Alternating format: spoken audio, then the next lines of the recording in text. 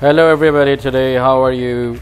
Hopefully you're doing well. We will continue with our lesson energy transfer in collision. First we'll talk about energy transfer in elastic collision. The first question that we need to understand is what is actually energy transfer? Energy transfer is the movement of energy from one object to another. Newton's cradle is a toy that shows how energy can be transferred when we, for example, pull one ball up and release it, it will collide with the other balls and because of this collision will happen, the ball on the opposite end will swing out. Then the ball swings back uh, at the other balls and this is this causes the first ball to swing out. So you can see clearly that energy is transferred from the first ball to the last and then back again because of collisions.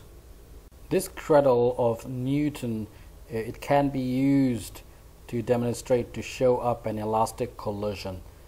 Elastic collision, there is no loss of kinetic energy from the system. A system uh, is a group of connected parts that make up a whole. For example, here the system is the colliding balls. So you can see that these colliding balls there is no loss of kinetic energy from the system. This, the kinetic energy transfers from one ball to another ball.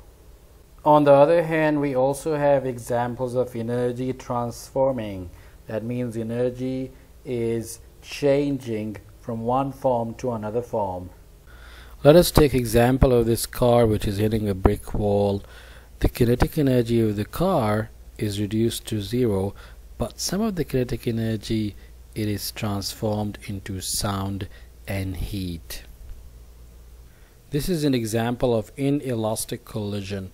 In inelastic collision, some of the kinetic energy of the colliding objects is transformed into another types of energy.